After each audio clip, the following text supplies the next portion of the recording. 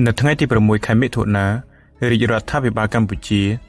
និងទីប្រឹក្សាច្បាប់របស់អង្គការសហប្រជាជាតិបានចុះហត្ថលេខាលើកិច្ចព្រមព្រៀងដើម្បីបង្កើតតុលាការខ្មែរក្រហម ក្រោយពីមានការចរចាអស់រយៈពេលជាច្រើនឆ្នាំមកចុងចោតមួយរូបដែលនឹងត្រូវលេចមុខនៅក្នុងតុលាការនេះគឺកាំងកាយាវឈ្មោះបដិវត្តដូចដែលជាអតីតប្រធានគុកទួលស្លែងដ៏ល្បីអាសោចរបស់ខ្មែរក្រហម ផុសតាងរូបវ័ន្តនិងឯកសារជាច្រើនភ្ជាប់ដូចទៅនឹងការធ្វើទរណកម្មនិងបទអ ுக ្រិតកម្មប្រឆាំងមនុស្សជាតិហើយការសារភាពរបស់ដូចនៅក្នុងឆ្នាំ1999ចំពោះមុខអ្នកសារព័ត៌មាន Net Thayer ក៏បានបង្ហាញអំពីការផ្សារភ្ជាប់យ៉ាងដូចនេះដែរក្រោយមកដូចបានដកសម្ដីរបស់ខ្លួនដោយនិយាយថាគាត់ពុំបានសម្លាប់នរណាម្នាក់ឡើយ ហើយគាត់គ្រាន់តែជាកម្មាភិបាលតូចតាចរបស់ខ្មែរក្រហមម្នាក់ប៉ុណ្ណោះដែលគ្មានអំណាចគ្រប់គ្រាន់ដើម្បីបញ្ឈប់នៅអំពើឃោឃៅដែលដាក់បញ្ជាដោយមេដឹកនាំបកបានទេ នៅក្នុងបទសម្ភាសជាមួយម្ដាយរបស់ដូចឈ្មោះកឹមសៀវនិងប្អូនស្រីរបស់ដូចឈ្មោះកឹមហ៊ាវគ្មាននរណាម្នាក់អាចនឹកស្មានសោះឡើយថា អ្នកទាំងពីរមានញាតិបង្កើតម្នាក់ដែលត្រូវចោទប្រកាន់ថាមានការទទួលខុសត្រូវពីបទអ ுக ្រិតកម្មដ៏ឃោឃៅរបស់គុកទួលស្លែង ហើយបានបញ្ជូនជនរងគ្រោះរាប់ពាន់នាក់ទៅវាលពិឃាតបឹងជើងឯកដូចកើតនៅឆ្នាំ1942នៅក្នុងគ្រួសារមួយដែលមានសមាជិក7នាក់ហើយគាត់គឺជាកូនច្បង និងជាកូនប្រុសតែមួយគត់របស់គ្រួសារដូចមានកំណើតនៅក្នុងភូមិមួយតាមដងស្ទឹងស្ទងស្រុកស្ទងខេត្តកំពង់ធំម្ដាយដូចនិយាយទាំងញញឹមថាដូចជាក្មេងសុភាពនិងចេះគោរពចាស់ទុំវាមិនដែលរឿងមហូបទេ ស្អីក៏ហូបដែរពេលមកពីរៀនមិនចេះត្អូញត្អែមួយម៉ាត់ឡើយវាមិនសូវមាត់ក៏ប៉ុន្មានទេ ចូលចិត្តស្ទូចត្រីនៅតាមដងស្ទឹងកឹមសៀបន្តទៀតថាគាត់រៀនពូកែណាស់ជាពិសេសផ្នែកគណិតវិទ្យាដោយបន្តការសិក្សានៅទីរួមខេត្តកំពង់ធំ ហើយក្រោយមកនៅខេត្តសៀមរាបដោយសាររៀនពូកែនៅអំឡុងឆ្នាំ1961ដូចបានក្លាយទៅជាគ្រូបង្រៀនគណិតវិទ្យា ដូចមកលេងផ្ទះជាញឹកញាប់នៅក្នុងអំឡុងពេលមុនរដ្ឋប្រហាររបស់សេនាប្រមុខលន់ណុលនៅខែមីនាឆ្នាំ1970ក៏ប៉ុន្តែម្ដាយនិងប្អូនរបស់ដូចបានឲ្យដឹងថាក្នុងពេលមកលេងផ្ទះនោះដូចមិនដែលនិយាយប្រាប់ពួកគាត់អំពីរឿងនយោបាយឡើយហើយគាត់នៅតែជាកូននិងបងប្រុសដែលសុភាពគោរពចាស់ទុំនិងស្រឡាញ់បងប្អូនដដែល។ នៅក្នុងអំឡុងសង្គ្រាមស៊ីវិលឆ្នាំ1970ដល់1975ដូចមិនបានមកផ្ទះវិញទេក៏ប៉ុន្តែបានត្រឡប់មកស្រុកជាញឹកញាប់ក្រោយថ្ងៃដែលខ្មែរក្រហមកាន់កាប់ប្រទេសកម្ពុជាទាំងស្រុងនៅខែមេសាឆ្នាំ1975អ្នកមីងគឹមហ៊ាវនិយាយថាយើងមិនដឹងដូចធ្វើអ្វីឡើយនៅក្នុងសម័យខ្មែរក្រហមគាត់មិនដែលនិយាយអំពីការងាររបស់គាត់ប្រាប់សោះហើយមើលទៅគាត់ក៏មិនមានអ្វីប្លែកពីមុនដែរ គាត់ស្លៀកសម្លៀកបំពាក់អាវខ្មៅខោខ្មៅនិងមានក្រមាមួយផ្សេងទៀតដោយកម្មាភិបាលផ្សេងទៀតដែរក្រោយការវាយលុករបស់កងទ័ពវៀតណាមនៅឆ្នាំ1979ដូចបានបាត់ខ្លួនសាជាថ្មី ហើយអស់រយៈពេល7ទសវត្សរ៍គ្រួសាររបស់ដូចមិនដែលបានជួបមុខដូចតតែសោះម្ដាយដូចបានពោលថាខ្ញុំគិតថាវាស្លាប់បាត់ទៅហើយពេលខ្ញុំបានឃើញវាវិញខ្ញុំសប្បាយចិត្តរកអ្វីប្រៀបផ្ទឹមប្រមាណឡើយ។ ខ្ញុំសឹងតែមិនជឿសោះថាវានៅរស់រហូតដល់សពថ្ងៃមុនឆ្នាំ1995ដូចបានទៅរស់នៅក្នុងសភាពតោកយ៉ានៅក្នុងតំបន់ខ្មែរក្រហមកាន់កាប់ភៀកពីយប់នៃប្រទេសកម្ពុជាបន្តិចម្ដងបន្តិចម្ដងដូចបានងាកទៅប្រតិបត្តិតាមកន្លងគ្រឹះសាសនានៅក្នុងឆ្នាំ1995ក្រោយពេលដែលប្រពន្ធរបស់ខ្លួនត្រូវលួចធ្វើឃាតដូចបានចូលគ្រឹះសាសនាដូច បានប្រែឈ្មោះទៅជាតាពិនហើយបានចាប់ផ្ដើមដើរផ្សព្វផ្សាយធម៌ព្រះយេស៊ូវនៅក្នុងពេលបម្រើការងារជាបុគ្គលិកពេទ្យជំនួយមនុស្សធម៌នៅក្នុងជំរំជនភៀសខ្លួនដូចបានមកលេងស្រុកកំណើតនិងម្ដាយជាញឹកញាប់នៅឆ្នាំ1999រាជរដ្ឋាភិបាលកម្ពុជាបានស្រាវជ្រាវរកឃើញលំនៅឋានរបស់ដូចហើយការដួលរលំរបស់ខ្មែរក្រហមបានជួយឲ្យការចាប់ខ្លួនដូចកាន់តែងាយស្រួល។ ទីហ៊ានរបស់រដ្ឋាភិបាលចាប់ខ្លួនដូចនៅថ្ងៃទី10ខែឧសភាឆ្នាំ1999រួចបញ្ជូនតាមឧទ្ធម្ភាគចក្រយកមកឃុំឃាំងនៅគុករបស់តុលាការយោធានៅទីក្រុងភ្នំពេញមន្ត្រីតុលាការបានចាត់ប្រកាន់ដូចពីបទអ ுக ្រិតកម្មប្រល័យពូជសាសន៍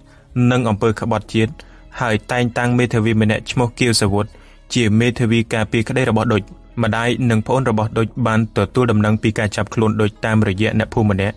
ដែលបានទទួលដំណឹងតាមរយៈប្រព័ន្ធផ្សព្វផ្សាយព័ត៌មានគឹមហៀវនិយាយថាយើងមានការរន្ធត់ចិត្តយ៉ាងខ្លាំងបន្ទាប់ពីបានទទួលដំណឹងពីការចាប់ខ្លួនគាត់គឹមហៀវងក់ក្បាលហើយនិយាយថាកូនខ្ញុំបានមកលេងផ្ទះជាច្រើនលើកនៅក្នុងចន្លោះឆ្នាំ1996ទៅឆ្នាំ1999ក៏ប៉ុន្តែវាមិនដែលនិយាយអំពីរឿងខ្មែរក្រហមប្រាប់ខ្ញុំសោះខ្ញុំមិនដឹងថាវាបានធ្វើអ្វីខ្លះទេនៅសម័យខ្មែរក្រហម មកលេងផ្ទះម្ដងម្ដង វាគ្រាន់តែសួរសុខទុក្ខបងប្អូនប៉ុណ្ណោះខ្ញុំភ័យណាស់នៅពេលដែលឮថាវាត្រូវគេចាប់ខ្លួនខ្ញុំសង្ឃឹមថា គេមិនប្រហារជីវិតវាទេ នៅទីក្រុងភ្នំពេញ ការសវុតបានទៀមទាឲ្យមានតុលាការមួយឲ្យបានឆាប់គាត់បានថ្លែងថាដូចចង់និយាយបកអាក្រាតមេដឹកនាំជាន់ខ្ពស់ខ្មែរក្រហមដែលដូចបានចោទប្រកាន់ថា បានបញ្ជាឲ្យគាត់អនុវត្តការសម្លាប់ ច្បាប់កម្ពុជាអនុញ្ញាតឲ្យមានការឃុំឃាំងមុនការកាត់ទោសរយៈពេល6ខែទោះជាយ៉ាងនេះក៏ដោយ នៅខែសីហាឆ្នាំ1999សភាជាតិកម្ពុជា បានអនុម័តច្បាប់មួយដែលអនុញ្ញាតឲ្យមានការឃុំខ្លួនមុនការជំរះក្តីរហូតដល់ទៅ3ឆ្នាំសម្រាប់ជនជាប់ចោទពីបទឧក្រិដ្ឋកម្មប្រល័យពូជសាសន៍ឧក្រិដ្ឋកម្មសង្គ្រាម និងឧក្រិដ្ឋកម្មប្រឆាំងមនុស្សជាតិអ្នកគាំទ្រអង្គការសិទ្ធិមនុស្សនិងអង្គការសហប្រជាជាតិបានរិះគន់ច្បាប់នេះថា ជាការរំលោភទៅលើសិទ្ធិរបស់ជនជាប់ចោតក៏ប៉ុន្តែច្បាប់នេះនៅតែត្រូវគេយកទៅអនុវត្តដដែល។នៅខែឧសភាឆ្នាំ2002នៅពេលដែលការខាត់ខ្លួនរបស់ដូចរយៈពេល3ឆ្នាំត្រូវបានបញ្ចប់ចៅក្រមស៊ើបអង្កេតងិនសំអាន បានចាត់ប្រកាន់គាត់ពីបទអ ுக ្រិតកម្មប្រឆាំងមនុស្សជាតិដែលនាំឲ្យមានការឃុំខ្លួនដូចរយៈពេល3ឆ្នាំទៀតលោកកាសវុតបាននិយាយថាដូចមិនសូវនិយាយរៀបរាប់អំពីលក្ខខណ្ឌនៅក្នុងគុកឡើយ នៅចុងឆ្នាំ2001ពេទ្យកងទ័ពម្នាក់ឈ្មោះទូតណារ៉ាបានបង្ហាញឲ្យដឹងថាដូចកំពុងតែមានជំងឺភ្នែកនិងត្រចៀកក៏ប៉ុន្តែលោកងិនសំអានក្រោយមកបានរាយការណ៍ថាដូចមានសុខភាពរឹងមាំជាងមុនពេលបញ្ជូនមកកាន់មន្ទីរឃុំឃាំងទៅទៀតម្ដាយនិងប្អូនរបស់ដូចបានទទួលដំណឹងតិចតួចបំផុតអំពីការចោទប្រកាន់ទៅលើដូចពួកគាត់មិនសូវយល់ដឹងអំពីច្បាប់ជាតិនិងច្បាប់អន្តរជាតិ និងនយោបាយដ៏ស្មុគស្មាញដែលនឹងសម្រេចជោគវាសនារបស់ដូចឡើយក្រៅអំពីការព្រួយបារម្ភទៅលើដូចនៅក្នុងគុកនិងការកាត់ទោសដូចគេនឹងយកគាត់ទៅសម្លាប់ឬអត់គឹមសៀវបានសួរនាំម្ដងហើយម្ដងទៀតដោយមិនដឹងច្បាស់អំពីទណ្ឌកម្មដែលដូចត្រូវទទួលអ្នកមីងគឹមហ៊ីវសួរថាតើគាត់មានមេធាវីជួយការពារឬអត់អ្នកទាំងពីរចេះតែព្រួយបារម្ភដោយសារតែមិនដឹងអំពីច្បាប់ពាក់ព័ន្ធទៅនឹងរឿងក្តីរបស់ដូច នៅចុងឆ្នាំ1999គឹមហ៊ីវបានធ្វើដំណើរទៅទីក្រុងភ្នំពេញក្នុងគោលបំណងទៅជួបដូចនៅក្នុងពន្ធនាគារគាត់និយាយថាខ្ញុំចំណាយអស់រយៈពេល3យប់3ថ្ងៃទម្រាំដឹងអំពីទីកន្លែងដែលគេយកគាត់ទៅឃុំខ្ញុំចាំនៅក្រៅគុកអស់រយៈពេលជាច្រើនម៉ោងរងចាំឲ្យគេអនុញ្ញាតឲ្យខ្ញុំចូលឲ្យតែឃើញអ្នកធ្វើការនៅទីនោះដើរចេញមកខ្ញុំប្រាប់គេថាខ្ញុំជាប្អូនរបស់ដូចក៏ប៉ុន្តែគ្មាននរណាម្នាក់អនុញ្ញាតឲ្យខ្ញុំជួបគាត់សោះ មន្ត្រីគុកបានទទួលយកបង្វិចរបស់គាត់ឲ្យទៅដូចក៏ប៉ុន្តែមិនបានបញ្យល់គាត់អំពីមូលហេតុដែលគាត់មិនអាចចូលជួបបានទេនៅឆ្នាំនោះដូចគ្នាដែរមជ្ឈមណ្ឌលឯកសារកម្ពុជាបានធ្វើសំណើមួយដើម្បីសុំជួបសម្ភាសជាមួយដូចក៏ប៉ុន្តែសំណើនេះត្រូវបានបដិសេធដូចនឹងត្រូវនាំខ្លួនទៅកាន់តុលាការខ្មែរក្រហម ហើយមានភ័ស្តុតាងជាច្រើនបង្ហាញពីការជាប់ពាក់ព័ន្ធរបស់ដូចទៅនឹងអំពើឃោរឃៅធ្ងន់ធ្ងរ ហើយនៅក្រោមច្បាប់ដែលពាក់ព័ន្ធជនដែលបានផ្ដល់បញ្ជាថ្នាក់កម្ពុជាមិនអាចមានការការពារក្តីទេ តែទោះជាយ៉ាងនេះក៏ដោយការឃុំដែលមានលក្ខណៈចំហរបស់ដូចគឺពុំមានភាពយុត្តិធម៌នៅក្នុងច្បាប់ឡើយតុលាការខ្មែរក្រហម គួរត្រូវបង្កើតឡើងដើម្បីយុត្តិធម៌មិនមែនការសងសឹកនោះទេគោលការណ៍ចម្បងមួយនៃយុត្តិធម៌គឺសិទ្ធិទទួលបានការចាត់ទុកថាគ្មានកំហុសដរាបណាតុលាការមិនកាត់ទោសជាស្ថាពរ នៅក្នុងគុកទួលស្លែងនិងកន្លែងផ្សេងទៀតខ្មែរក្រហមមិនបានគោរពតាមគោលការណ៍នោះទេហើយនិយាយថាស៊ូចាប់ច្រឡំ10នាក់កុំឲ្យលែងខ្មាំងច្រឡំម្នាក់ជ័យជំនះទៅលើកេរដំណែលដ៏រន្ធត់នេះមានន័យថាជាការបំបត្តិចោលនូវភាពអយុត្តិធម៌ក្នុងក្របខ័ណ្ឌច្បាប់បើទោះជាភ័ស្តុតាងប្រឆាំងទៅនឹងជនជាប់ចោតមានលើសលប់ក៏ដោយរាជរដ្ឋាភិបាល ត្រូវធានាឲ្យឃើញនៅទង្វើរបស់ខ្លួនទៅលើជនជាប់ឃុំបើទោះជាជននោះជាប់ចោទពីបទល្មើសធ្ងន់ធ្ងរយ៉ាងណាក៏ដោយស្របទៅតាមបន្ទាត់ឋានយុត្តិធម៌អន្តរជាតិ